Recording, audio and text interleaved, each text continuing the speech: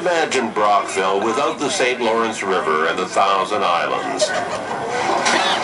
Which has also launched the building of Tall Ships Landing, a condominium development on the city's waterfront. Starting price is 300000 And McDonald of the Brockville and District Chamber of Commerce says it will be a tonic for the Brockville economy.